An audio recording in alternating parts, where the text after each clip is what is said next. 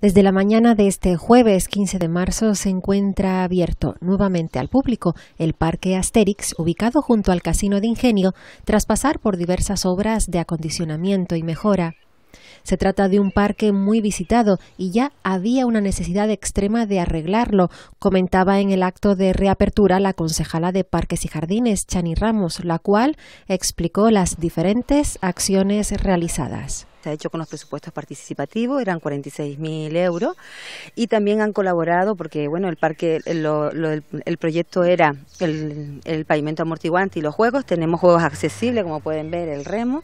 Estamos intentando poner juegos accesibles en todos los parques. Y después las concejalías, Parque y Jardín, ha jardinado toda la zona, pues ha arreglado todos los jardines, que también le hacía mucha falta. Y también, pues hemos con los planes de empleo hemos pintado toda la zona. La edil quiso además solicitar la colaboración de la ciudadanía en su conservación y cuidado, apelando al civismo.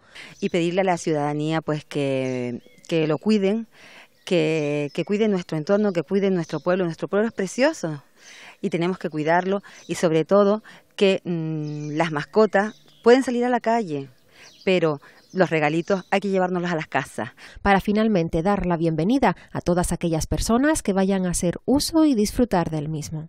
Por su parte, el alcalde de la Villa de Ingenio, Juan Díaz, quiso resaltar tres preocupaciones que tiene el grupo de gobierno el mantenimiento de las instalaciones deportivas, los parques y el mantenimiento de las carreteras. Quiso también recalcar la importancia de contar con la colaboración ciudadana.